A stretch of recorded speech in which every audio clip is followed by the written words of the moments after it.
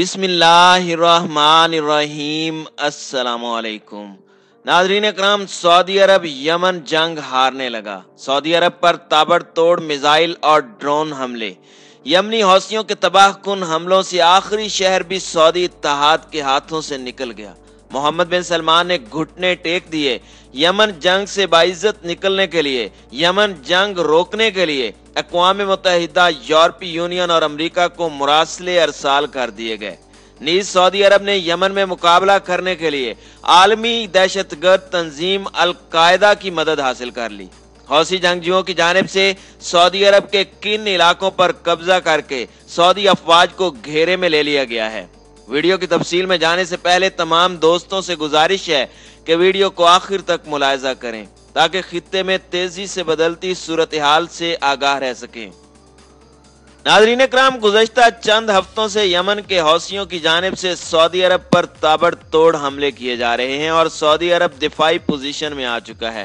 وہ سعودی عرب جس نے گزشتہ چھ سالوں میں یمن کی سرزمین کو تاراج کر کے رکھ دیا تھا، آخر وہ اب عالمی اداروں کے سامنے مظلوم کیوں بن رہا ہے؟ اور عرب اتحاد اور امریکہ، برطانیہ، فرانس کے اتحاد کے ساتھ یمن پر جارحیت کرنے والا سعودی عرب اب سٹیپ بیک کیوں ہونا شروع ہو گیا ہے؟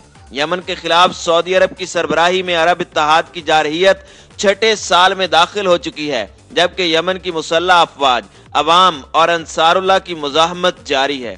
اس وقت صورتحال یہ ہے کہ یمن میں فوج اور عوام رضاکار فورس کی کامیابیوں کا سلسلہ جاری ہے اور وہ روز بروز معارب شہر کے مختلف محاذوں پر پیش قدمی میں مصروف ہیں۔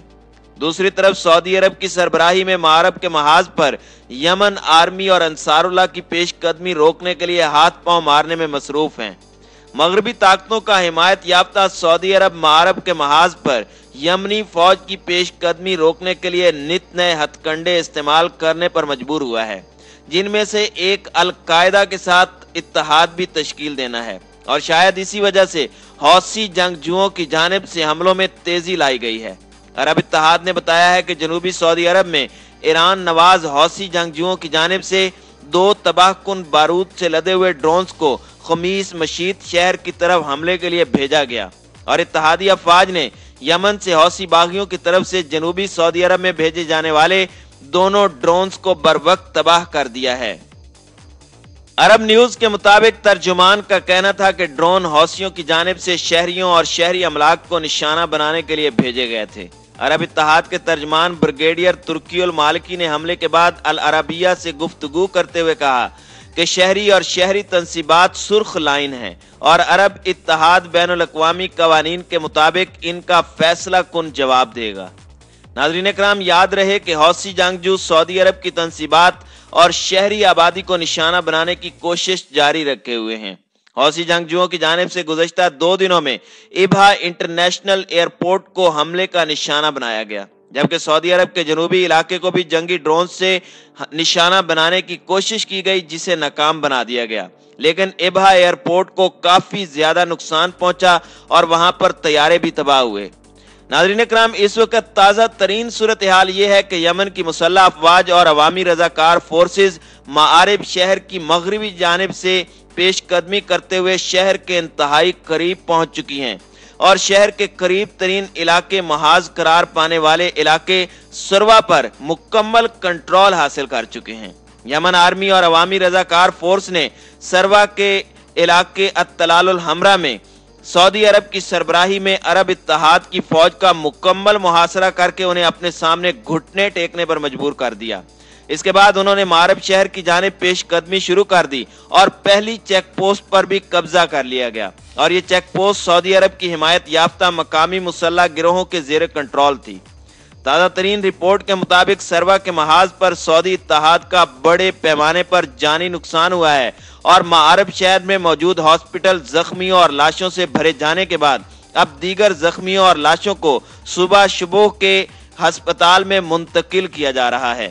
یمن آرمی اور عوامی رضاکار فورسز کی تیز پیش قدمی نے سعودی اتحاد کو شدید گھبراہٹ کا شکار کر دیا ہے، جس کے نتیجے میں سعودی عرب اور متحدہ عرب امارات معرب شہر کے مغربی حصوں پر وحشیانہ انداز میں بمباری کرنے میں مصروف ہے اور ان فضائی حملوں کا مقصد یمن آرمی کی تیزی سے جاری پیش قدمی کو روکنا ہے۔ سعودی سربراہی میں عرب اتحاد نے فضائی حملوں کے علاوہ یمن آرمی کی پیش قدمی روکنے کے لیے ایک اور حربہ استعمال کیا ہے جو القاعدہ سے وابستہ عناصر سے مدد حاصل کرنے پر مشتمل ہے۔ سعودی عرب نے القاعدہ سے وابستہ ان عناصر کو یمن کے مختلف صوبوں میں اکٹھا کیا ہے، جن میں المہرہ حضر موت، شبوہ اور ابین کے صوبے وغیرہ شامل ہیں۔ یہ دہشت گرد عناصر کا گڑ تصور کیے جاتے ہیں۔ سعودی اتحاد اور القاعدہ اور سلفی دہشت گردوں کو ان صوبوں سے اکٹھا کر کے معارف کے محاذ پر لایا گیا ہے تاکہ یمن آرمی اور انصار اللہ کی پیش قدمی کا مقابلہ کیا جائے۔ سعودی فوجی سربراہ کی جانب سے معارب میں اپنے حمایت یافتہ مقامی مسلح عناصر کے ساتھ خط و کتابت سے ظاہر ہوتا ہے کہ القاعدہ سے وابستہ ان عناصر کی ٹریننگ کا کام گزشتہ کئی ماہ سے شروع کیا گیا تھا۔ اور ان سلفی دہشت گردوں کی فوجی ٹریننگ ایک افریقی ملک میں متحدہ عرب امارات کے فوجی آفیسرز کے زیر نگرانی انجام پائی ہے۔ اسی طرح بعض موصولہ رپورٹ سے ظاہر ہوتا ہے کہ معارف شہر میں سرگرم عمل القاعدہ کے دہشت گرد حتیٰ کہ محاذ جنگ پر بھی اپنا پرچم استعمال کر رہے ہیں۔ دوسری جانب یمن میں القاعدہ کے معروف سربراہ خالد بطرفی نے بھی حال ہی میں ایک ویڈیو پیغام جاری کیا ہے جس میں القاعدہ سے وابستہ ان عناصر کو معارف کے محاذ پر سرگرم ہو جانے کی دعوت دی گئی ہے۔ دلچسپ بات یہ ہے کہ کچھ عرصہ پہلے اقوام متحدہ نے یمن کے مشرقی ساحل پر واقع صبح المہرہ سے خالد بطرفی کو گرفتار کیے جانے کا اعلان کیا تھا۔ معارب کے محاذ پر یمن آرمی اور انصار اللہ کی تیزی سے جاری پیش قدمی اور انہیں حاصل ہونے والی مسلسل کامیابیوں کے باعث امریکہ سمیت دیگر مغربی طاقتوں نے یمن میں جنگ بندی کے قیام پر زور دینا شروع کر دیا ہے۔ یمن کے لیے امریکہ کے نئے ایلچی نے اپنے علاقائی دورے کا آغاز سعودی عرب سے کیا ہے اور یوں لگتا ہے کہ ریاض میں سعودی بادشاہ کی سفارتی کامیابیوں کا مرکز معارب شہر میں یمن آرمی کی پیش قدمی کو روکنا اور معارب شہر میں سعودی عرب کے قبضے کو برقرار رکھنا ہے۔ معارب شہر یمن کے شمال مشرق میں سعودی عرب کے زیر قبضہ آخری ٹھکانہ تصور کیا جاتا ہے۔ لینٹر کنگ کی سفارتی سرگرمیوں کا مرکز معارب شہر میں یمن آرمی کی پیش قدمی کو روکنا اور معارب شہر پر سعودی عرب کے قبضے کو برقرار رکھنا ہوگا۔ معارب شہر یمن کے شمال مشرق میں سعودی عرب کے زیر قبضہ آخری ٹھکانہ تصور کیا جاتا ہے۔ لینڈر کنگ کے سعودی عرب دورے سے پہلے امریکی وزارت خارجہ یمن میں جنگ بندی پر زور دے چکی ہے۔ دوسری طرف یمن آرمی اور انصار اللہ معارب پر قبضے کے لیے بھرپور کارروائیاں جاری رکھے ہوئے ہیں۔ یمن آرمی نے معارب اور الجوف پر سعودی عرب کے بڑھتے فضائی حملوں کے جواب میں سعودی عرب میں واقع ابہا فوجی ہوائی اڈے کو ڈرون حملوں کا نشانہ بنایا ہے۔ اب جب تمام عالمی طاقتوں کو یہ یقین ہو چکا ہے کہ وہ جنگ کے ذریعے سنا میں قائم انصار اللہ کی حکومت کو ختم نہیں کر سکتے، بلکہ انہیں اور خطے میں ان کے ہواریوں کو ایک مکمل شکست کا سامنا ہے۔ ایسے میں امن کے مذاکرات اور اسلحے کی روک تھام کے نام پر مکمل رسوائی سے بچنے کی کوشش شروع کر دی گئی ہے۔ امریکہ اور یورپ دیکھ رہا ہے کہ ان ان کا اسلحہ یمنیوں کے مقابلے میں سعودی عرب کا دفاع کرنے میں ناکام ثابت ہوا ہے۔ اور ان کی حمایت یافتہ نام نہاد حکومت بھی خاتمے کے قریب ہے۔ تو ضروری ہے کہ جنگ بندی کے نام پر انصار اللہ کی پیش رفت کو روکا جائے اور انسانی ہمدردی کے نام پر یمن میں فعالیت کا آغاز کیا جائے۔ ان کے نزدیک اسی طرح بات چیت کے نام پر کچھ مقاصد حاصل کیے جا سکتے ہیں۔ اس کی مثال افغانستان میں بھی موجود ہے، جہاں امریکہ اب یہ کہہ رہا ہے کہ ہم تو افغانستان سے جانے کے لیے تیار ہیں۔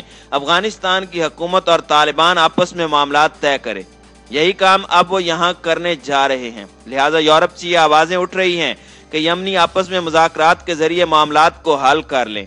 لیکن حالیہ صورتحال یہ ہے کہ سعودی عرب سے آخری شہر بھی چھنتا ہوا نظر آ رہا ہے۔ اسی وجہ سے سعودی عرب کی جانب سے کہا جا رہا ہے کہ کسی طرح سے امریکہ مداخلت کر کے یمن کی جنگ سے ان کی جان چھڑوائے۔